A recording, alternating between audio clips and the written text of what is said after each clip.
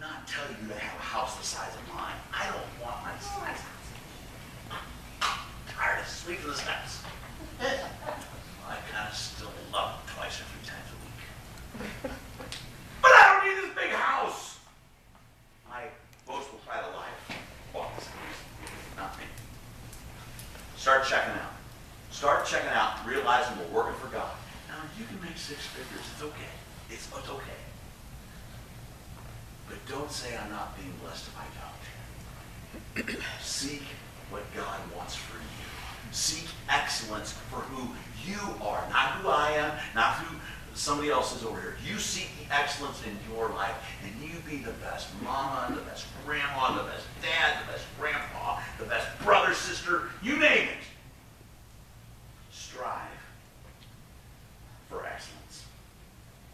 Commit today to doing that for God, folks. Honor your boss. Do your best. Blessings. You should do this, not out of fear, by the way. Do it because you love Jesus. If Jesus is your best friend, what kind of employee are you going to be? The best. Jesus your best friend, what, what kind of a, you're going to be honest. You're going to do what's best for the company. Listen, he gave his life on the cross at the hands of terrible men. Your boss, as bad as he might be, will not crucify you. It's illegal. Okay? They cannot crucify you.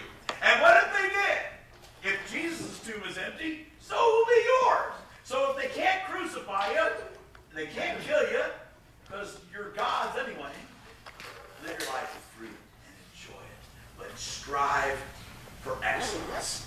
Your boss isn't maybe as bad as you simply think it is. Empty tomb says, don't worry about the boss. Strive. Strive to live like that, like never before. Maybe this is all new and it's really hard for